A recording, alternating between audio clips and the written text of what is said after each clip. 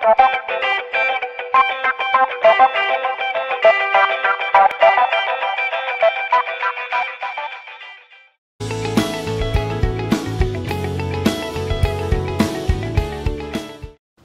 a tutti e benvenuti a questo nuovo video tutorial in collaborazione con Yupla Craft.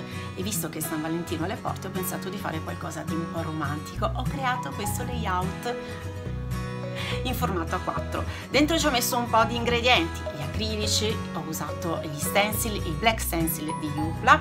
Ho utilizzato come base eh, questo banner classico i rametti prisma e poi le mie adoratissime paroline.